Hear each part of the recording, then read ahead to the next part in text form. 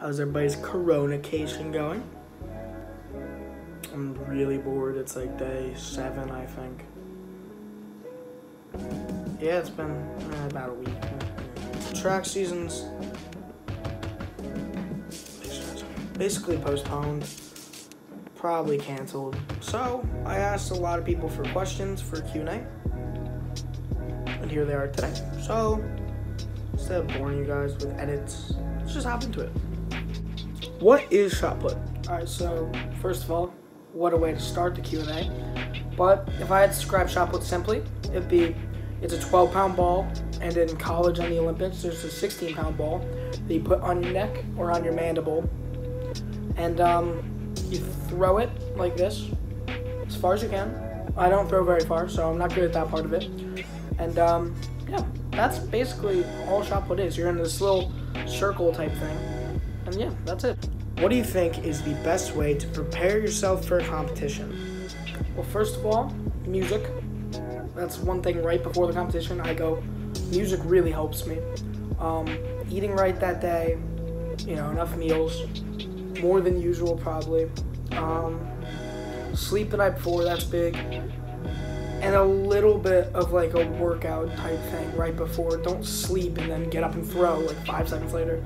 I usually do some push-ups before, which is I know people from my school aren't gonna believe that I do push-ups, but um yeah.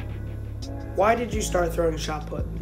So the reason I started throwing shot put is because I really want to lift.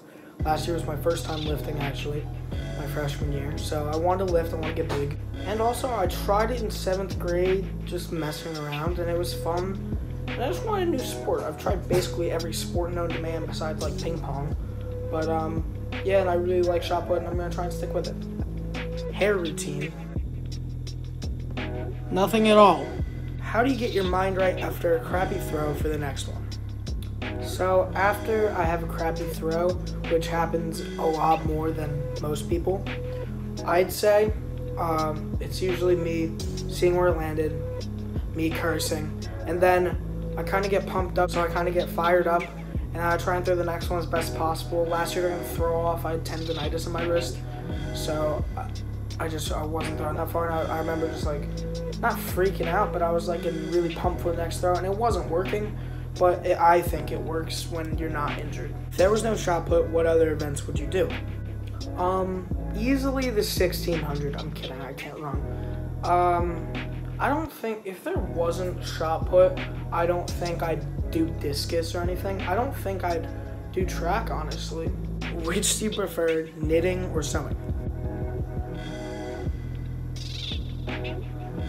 Reagan Moore, thank you for the incredible question. I'm gonna be honest, I've never sewn. I've knit like twice with my grandma, so I guess knitting. If you could be any type of cereal, what would you be? Wheaties, because it is the breakfast of champions. If you to assign the seven dwarf track events, which would be throwers and why? I think I'd have to assign Grumpy as a thrower. Because name a thrower that doesn't just get mad easily and lift a lot. Like Grumpy looks like a lifter. Grumpy looks like he'd have a little bit of a grunt after a throw. So Grumpy it is. How much water do you drink a day?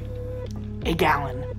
Alright, so in the middle of recording this video, I actually got a letter from Memes for Throwers which is really cool. It's a meme page. Uh, I hit them up. They actually gave me two of these questions and a personalized little note. So, um, thank you, memes for throwers. And uh, yeah, I'm just gonna throw this in the middle of the video. I think it's really cool that you guys sent me this, and I'm glad to be on your page. And you're a really cool page. So go follow memes for throwers. Link in the description. If you could be a dinosaur, what would you be and why?